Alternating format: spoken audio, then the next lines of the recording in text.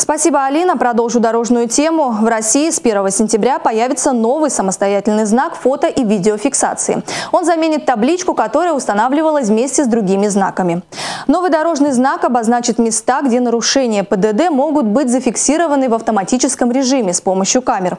При этом существующая табличка фото- и видеофиксация будет исключена с 1 сентября 2021 года, говорится в сообщении на сайте ГИБДД. Главная особенность в том, что новый знак может устанавливаться самостоятельно, тогда как старый, табличка, устанавливался только вместе с другими знаками. Новый знак будет размещаться вне населенного пункта в 150-300 метров от зоны видимости камер, фиксирующих нарушения правил дорожного движения и на въезде в поселение.